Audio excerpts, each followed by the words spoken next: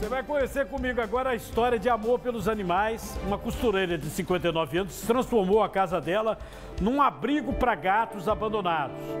Atualmente, ela está cuidando de 178 gatinhos e as despesas são muito altas, viu? Ela está precisando de ajuda para manter o abrigo. Vê comigo. A relação de Maria com os gatinhos começou há cerca de nove anos, mas por causa da quantidade de animais que foi resgatando ao longo do tempo, a casa dela, que se tornou num abrigo, hoje tem 178 bichanos. Eu comecei eh, alimentando uns bichinhos de rua. Uma senhora na rua onde eu morava, ela alimentava os bichinhos de rua e eu comecei ajudando ela a alimentar esses bichinhos.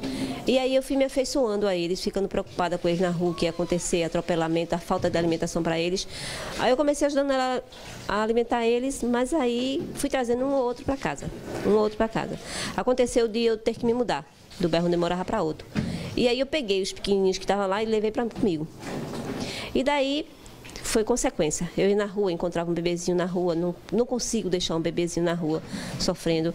É, uma mãezinha ou uma uma, uma gatinha, adolescentezinha, se está na rua, é fêmea, vai cruzar e vai ter filhinhos na rua. Aí foi, não foi, eu pego. Com o que ganhava como costureira, já não era suficiente para manter os bichinhos. Por isso, passou a pedir ajuda das pessoas para comprar ração, medicamentos e custear outras despesas. É muito alta a despesa de um abrigo, é muito alta. Eu fazendo a conta aqui de ração, granulado de areia, que é o que eu uso nas caixas de areia deles, é, remédios, exames, exames que até que eu deixo de fazer por não ter verba para isso, mas está em torno de 5, 6 mil reais, é o que se gasta no abrigo. Eu estou devendo em quatro casas de ração, porque quando a doação não chega, eu vou deixar eles com fome. Aí eu converso, falo lá e termino liberando e eu estou com quatro casas de ração em débito para resolver. A dona Maria Camilo, ela diz também que está conseguindo arrecadar muitas vezes o que só dá para a alimentação do dia.